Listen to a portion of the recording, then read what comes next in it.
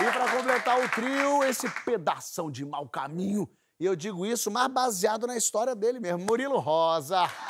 Agora você vê, às vezes é melhor esquecer o carro do que bater de frente com o carro de Murilo. É. Não, é, é- é- na verdade é o seguinte, eu tenho um problema com essas pegadinhas. Né? Murilo Tem- gosta da pegadinha. É, pegadinha é uma coisa legal, mas assim, tem- a gente tem que combinar, né? Vai até onde a pegadinha? Qual o Tem tem um limite da limite. Qual o pegadinha? limite da pegadinha, né? Então, eu tenho um problema com pegadinha desde criança. E, e- esse problema não, acho que não passou. Porque, assim, se o cara faz uma pegadinha e depois não desmente que é uma pegadinha, você convive com aquele trem durante Sim, muito tempo, vida, né? é. Então pode ser um problema para você. É, São tantas pegadinhas, mas Mas essa, essa quando eu era jovem. menino, menino, Que que é menino, moleque... Não, eu, eu tinha, eu tinha 18 anos já. Então, Não é menino. é, 18 anos.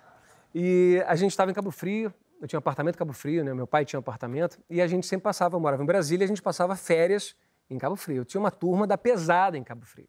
E, e essa é uma turma super divertida, mas moleque, a gente fazia muita bagunça. Eu tinha um bugre, um bugrezinho vermelho, maravilhoso. Então eu com 18 anos, com um bugre vermelho em Cabo Frio, né? Andando, aquela coisa, me sentia, né?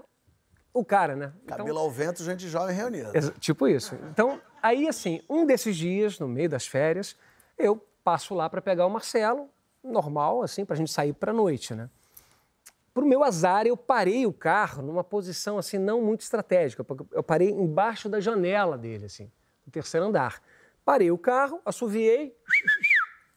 Marcelo, desce. E aí Marcelo apareceu com a cabeça, claro, olhou, tipo, viu a reta, né? Porra, Falou, pediu. Pediu. Tal qual um pombo E eu todo olhando uma estátua. Todo bonitinho, já pra, né, tipo, sair pra noite, aquela coisa toda. O cara chega com um balde d'água e. Típico, clássico. Jogou, entrou, aquela coisa toda, molhei, tomei aquele banho, falei, filha da mãe, E beleza. aí, nessa hora, que você que tá acostumado a fazer, pegar de receber, fica bravo ou acha, porra, ele Não, teve uma sacada boa? Esse aí foi legal. Esse Esse aí foi foi bacana. Esse aí- Ah, legal, hein? Não, isso foi divertido, porque foi só um banho de água. Então, legal, tudo bem, foi ótimo.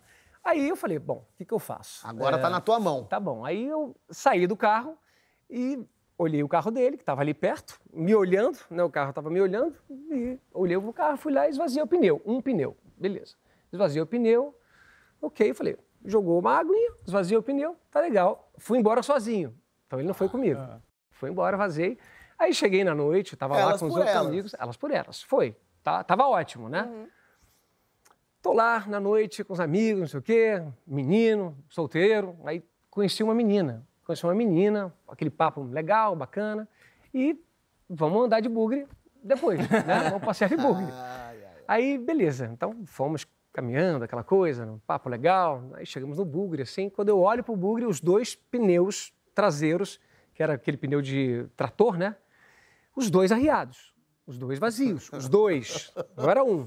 Era Começou dois. a ir longe Caraca. demais, porque aí Ai, não meu tinha um Deus. step só. né? Exatamente, aí não tem como, porque se é um, você dá um jeito de encher um pneu, você tira, se vira e segue em frente. Dois, Não, passou, tinha como. passou dessa linha mesmo. passou, aí eu falei, pô, agora foi pesado. Aí uma galera parou, me ajudou, a menina ficou um tempinho, foi simpática, mas depois pegou uma carona comigo e foi embora, ou seja, Claro, lógico. ferrou meia-noite. E aí, é, ok. E a minha cabeça já trabalhando, tipo, na vingança, né?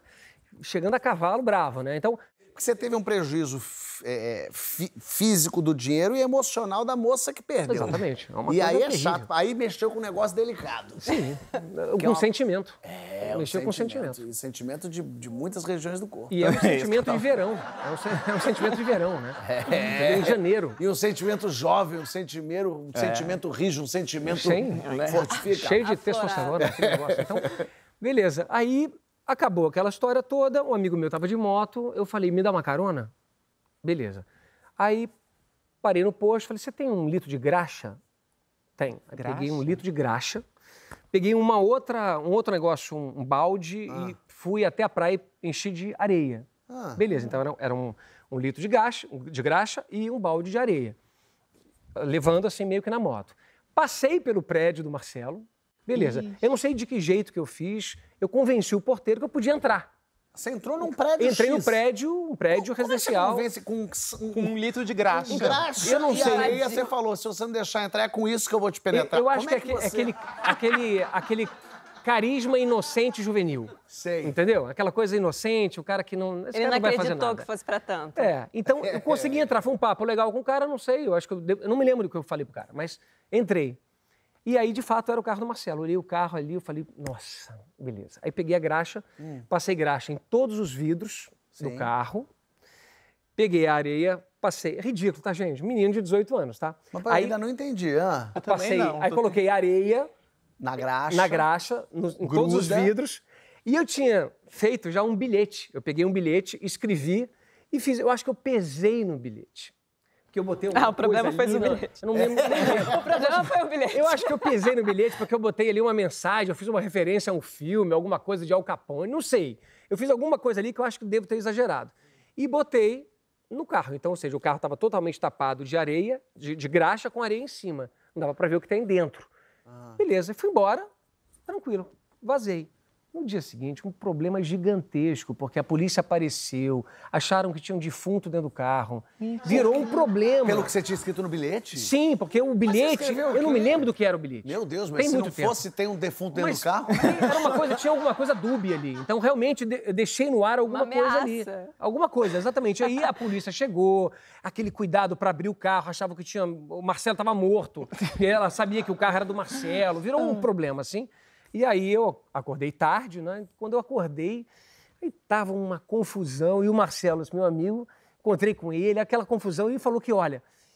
Aí parou por ali, mas ele falou que ia enterrar, o próximo passo era ele enterrar o meu bugre na areia. E eu falei, o próximo passo é arrancar os pilares do seu prédio. Mas aí ele parou por ali. Era o Murilo. Bom, eu tô com a sua mãe. É, e ela tá aqui amordaçada num canto.